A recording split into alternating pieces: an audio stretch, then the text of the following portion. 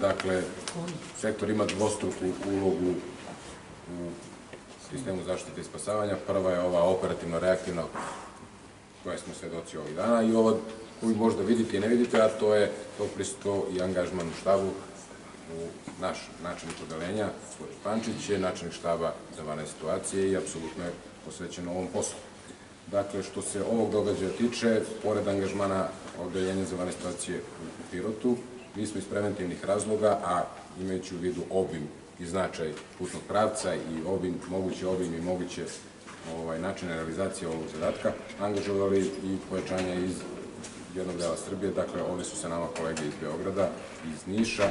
iz uh, Pančeva, iz uh, Leskovca, tako da nas trenutno ima više od 60 na licu mesta i u, od samog trenutka, znači od same dojave koja je negde posle 17 sati nastala,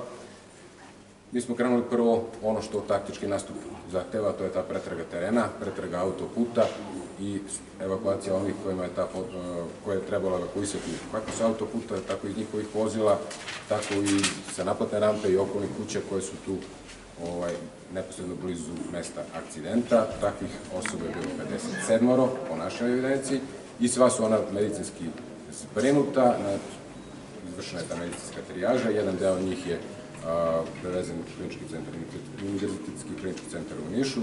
drugi deo je ostao u Pirotu, njih devetoro, u Nišu je 15 u, ovaj, među tom grupacijom od devetoro i dvojice mojih kolega, na svu sreću njihovo ovaj, vitalne funkcije i njihovo zdravstveno stanje nije ugroženo, što je posebna radost za mene kao njihov kolegu. A, tokom noći vršili smo takođe a, pretragu i uz do,